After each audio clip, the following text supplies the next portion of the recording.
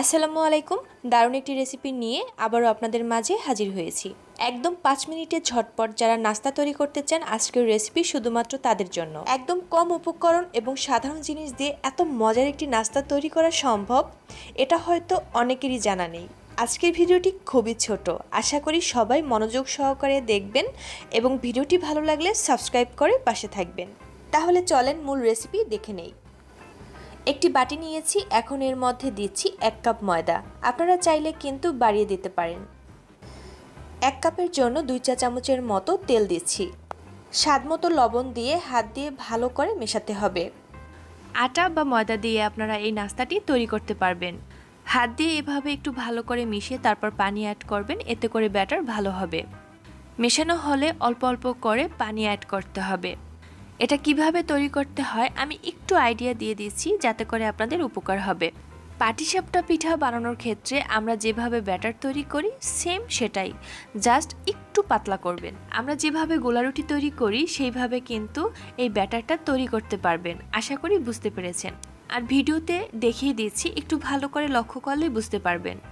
একসাথে অনেক পানি দিতে যাবেন না, এতে করে ব্যাটার পাতলা হয়ে যেতে পারে। আর যদিও বা ভুলে পাতলা হয়, সেক্ষেত্রে আর একটু ময়দা বা আটা মিশিয়ে দেবেন।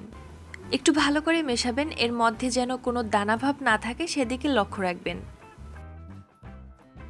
অন্য একটি বাটিতে নিয়েছি তিনটি ডিম। আপনারা চাইলে কমিয়ে নিতে পারেন। কতজনের জন্য আপনি নাস্তা তৈরি করবেন, সেই অনুযায়ী কিন্তু ডিম নিতে হবে। দিয়ে দিচ্ছি লবণ, আর দিচ্ছি পেঁয়াজ কুচি আর কাঁচামরিচ। পেঁয়াজ একদম কুচি কুচি করে দেবেন, এতে করে নাস্তাটি তৈরি করতে সুবিধা হবে। গরম মশলা দিয়েছি হাফ চামচের থেকে একটু কম। এখন ডিমের মিশ্রণ ভালো করে ফেটিয়ে নিচ্ছি। আপনারা চাইলে এই মিশ্রণের মধ্যে গোলমরিচ অ্যাড করতে পারবেন। এখন অন্য একটি বাটিতে নিয়েছি শশা কুচি। আমি আবারও বলছি, এর কোনো পরিমাপ নেই। আপনারা কতজনের নাস্তা বানাচ্ছেন তার উপরেই উপকরণগুলো নির্ভর করে। একটি বড় সাইজের পেঁয়াজ কুচি দিয়েছি আর স্বাদ মতো কাঁচামরিচ, এক টেবিল চামচ টমেটো সস দিয়ে ভালো করে মিশিয়ে দিতে হবে। আমি যে উপকরণগুলো দিয়েছি, এগুলো একদম হাতের কাছে পাওয়া যায়, তাই না? সো, যে কেউ এই নাস্তা বাসায় তৈরি করতে পারবেন। কড়াইতে অল্প একটু তেল দিয়েছি। এখন টিস্যু দিয়ে তেলটাকে ভালো করে ছড়িয়ে দিচ্ছি।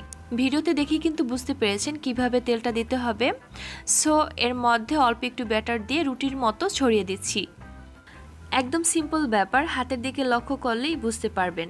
রুটিটা একদম মোটা করে ছড়াতে যাবেন না, এতে করে নাস্তাটা কিন্তু খেতে ভালো লাগবে না। রুটিটা যেন একটু পাতলা হয়, সেদিকে লক্ষ্য রাখবেন। এই রুটির মধ্যে ডিমের মিশ্রণ ছড়িয়ে দিলাম।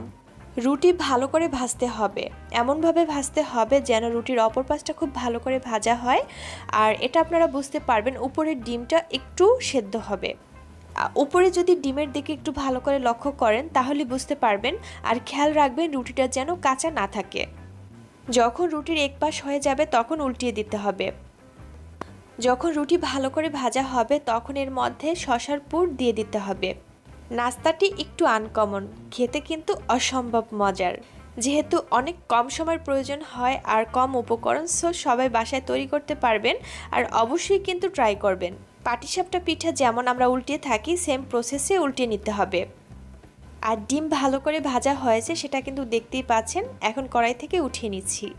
সেমভাবে প্রতিটা নাস্তা তৈরি করে নিতে হবে। কতটা সহজে নাস্তা বানানো সম্ভব এই ভিডিওটা দেখে অবশ্যই সব আপুরা বুঝতে পেরেছেন। এটা যেমন বানাতে সহজ, তেমন খেতেও অসম্ভব মজার। সো অবশ্যই বাসায় ট্রাই করে আমাকে কমেন্ট করে জানাবেন। আর লাইক কমেন্ট শেয়ার করতে অবশ্যই ভুলবেন না। আর যারা অলরেডি চ্যানেলটি সাবস্ক্রাইব করেছেন, তাদেরকে অসংখ্য ধন্যবাদ। তাহলে আজকের মতো বিদায় নিচ্ছি। ভালো থাকবেন সবাই। আল্লাহ হাফেজ।